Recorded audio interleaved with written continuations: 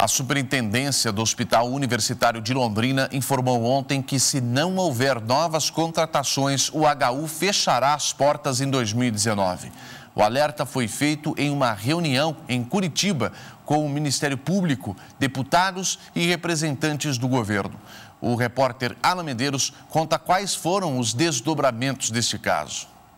Após a reunião desta quarta-feira, ficou definido que será encaminhado ao governo do estado um pedido para que as reitorias das universidades estaduais do Paraná tenham autonomia para a reposição de funcionários diante de casos como aposentadorias. O processo, segundo o deputado Tercílio Turini do PPS, poderia sim ser mais rápido, já que hoje novas nomeações, até mesmo de reposição de servidores, passa por secretarias como da Fazenda e da Casa Civil o que para o parlamentar acaba travando o processo. E que nós vamos encaminhar para o governador, pedindo ao governador, alertando o governador, mas pedindo que dê autonomia para as reitoras, porque lá atrás, há muitos anos atrás, já era assim.